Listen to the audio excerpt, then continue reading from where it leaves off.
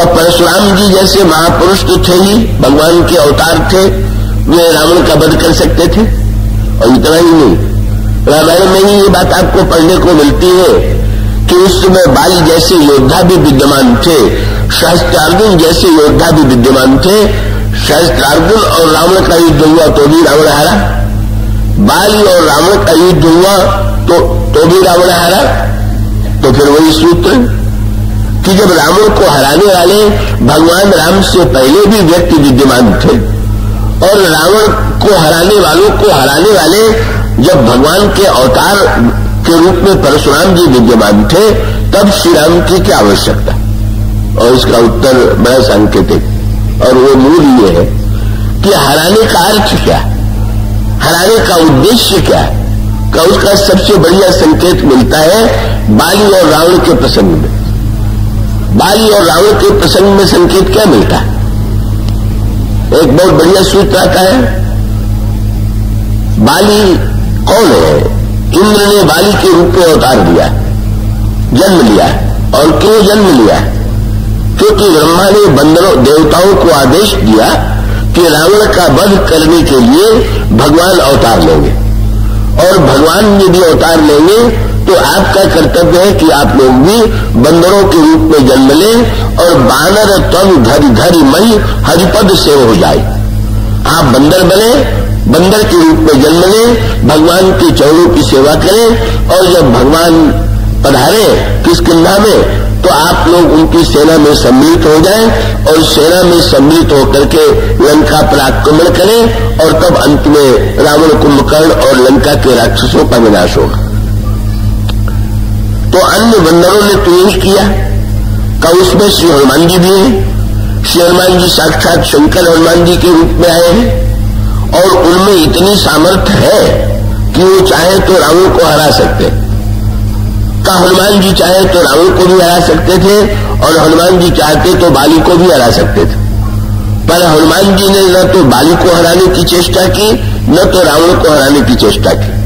बाली जो है, वो इंद्र के रूप में पुण्य का स्वरूप है और रावण पाप का रूप है, पर हनुमान जी दोनों से नहीं लड़े। बाली ने क्या किया? बाली ने भगवान के अवतार लेने से पहले ही, किसकिधा आने से पहले ही रावण को हरा दिया। इसका अभिप्राय क्या हुआ? रावण को यह लगा कि जो काम हम स्वयं कर सकते हैं, उसके लिए भगवान की क्या आवश्यकता? ये प्रश्न कई बार व्यक्ति कह सकता है कि, कि जो लोग भगवान को नहीं मानते आज भी करोड़ों व्यक्ति ऐसे हैं कि जो ईश्वर की सत्ता को नहीं मानते ईश्वर की सत्ता पर जिनका विश्वास नहीं है तो क्या जो लोग ईश्वर की सत्ता पर विश्वास करते हैं वो लोग बड़े काम करते हैं और जो लोग नास्तिक हैं या ईश्वर की सत्ता पर विश्वास नहीं रखते क्या उन लोगों के द्वारा बड़े से बड़ा काम नहीं होता? क्या बड़े से बड़ा आविष्कार जो है, नास्तिक वैज्ञानिक नहीं करते? क्या बड़ी से बड़ी उन्नति की योजना नास्तिकों के द्वारा पूरी नहीं होती? ऐसी स्थिति में अगर ये कोई मान के चलता हो कि भगवान की सहायता लिए बिना कोई बड़ा काम नहीं कर सकता है तो ये बात नहीं। लेकिन भगवान की सहायता ले क्यों? बस इसका मूल अभिप्राय बड़ा समझने योग्य और ये कि जब कोई कार्य आप ये मान के चलते हैं, करते हैं, कि ये कार्य आपने किया और इस कार्य में आपको सफलता मिली तो उस कार्य के बाद दो बातें मन में आई। क्या?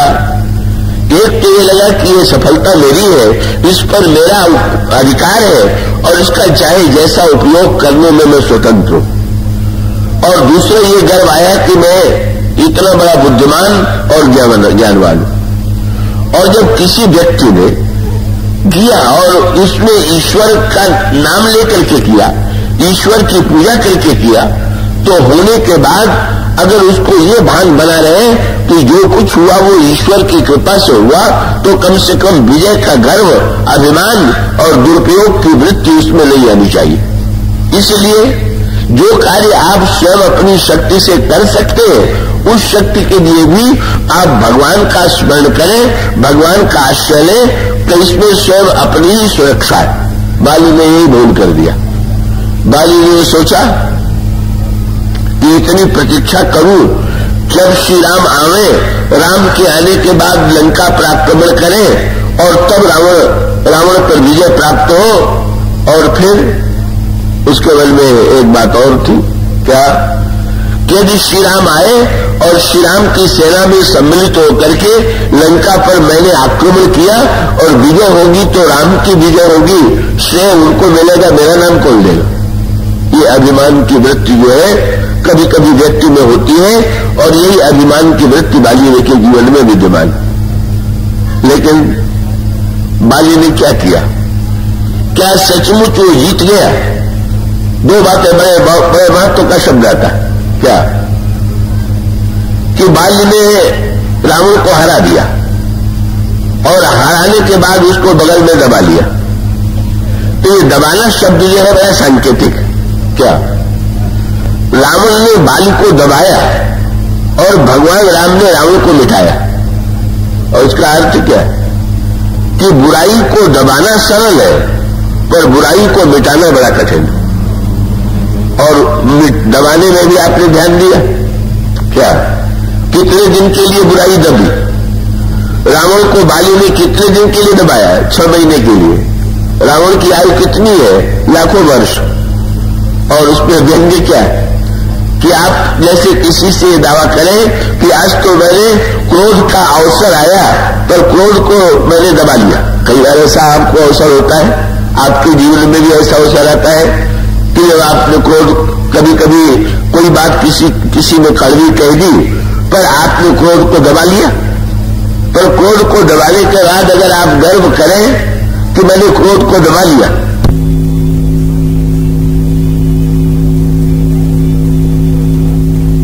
कि मैंने तो आधे घंटे के लिए क्रोध दबा लिया। तो आपकी सौ वर्ष की आयु में आधे घंटे दबा लेने का ठीक है।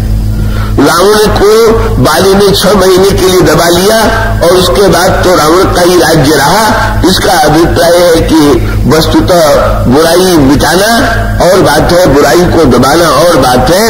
और दबाने का मिथ्या गर्व केवल छह महीने। और वो छह महीने का भी उपयोग काय के लिए किया गया? बगल में दबाए भी नहीं रहा। बगल में दबा करके बाली जो है, चारों ओर घूम करके क्या कर रहा था?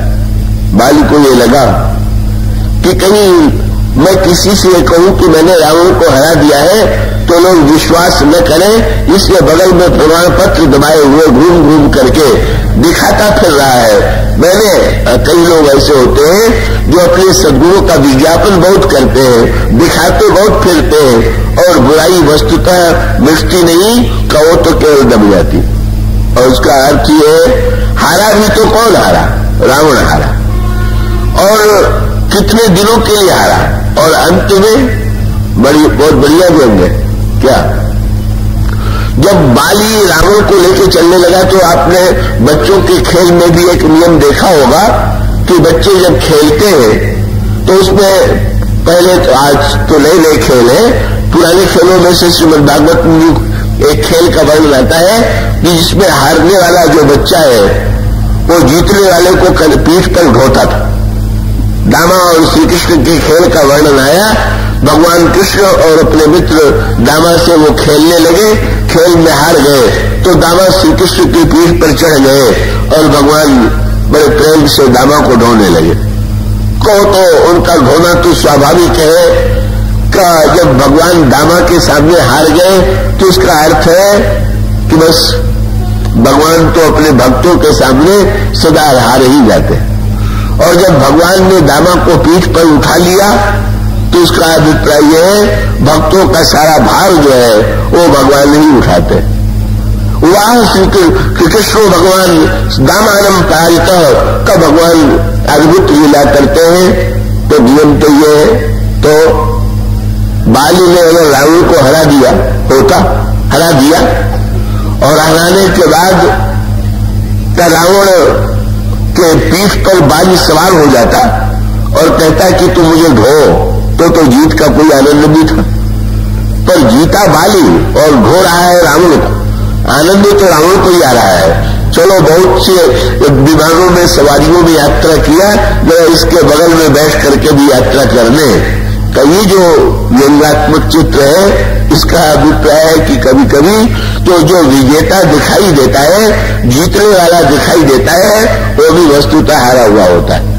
रावण का रावणत्व तो बाल के जीवन में बैठ गया मनो इसका सांकेतिक अभिप्राय है, बाल की तरह हरा देने का भी कोई अर्थ नहीं है, केवल व्यक्ति गर्व करता है।